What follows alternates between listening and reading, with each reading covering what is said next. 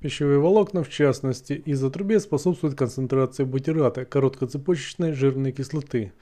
Вероятно, это связано с тем, что пищевые волокна могут способствовать росту бактерий, продуцирующих бутират, включая фермикутес, дорея, руминококус, розебурия и лахноспирация.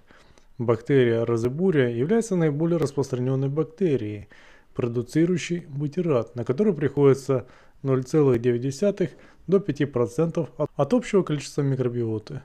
Розебурия оказывает положительное влияние на поддержание здоровья толстой кишки и метаболические заболевания, включая ожирение и диабет второго типа. Кроме того, бутират может стимулировать выработку бактерий, связанных со слизью, для усиления функции кишечного барьера у хозяина, тем самым улучшая метаболизм организма. Кроме того, бутират может улучшить симптомы воспаления за счет снижения концентрации связанных с воспалением молекул и регулирования иммунной системы. Было показано, что употребление пшеничных отрубей уменьшает химически вызванные опухоли у грызунов, и этот эффект в значительной степени, но не исключительно приписывается стимуляции образования бутирата посредством ферментации пшеничных отрубей в толстой кишке.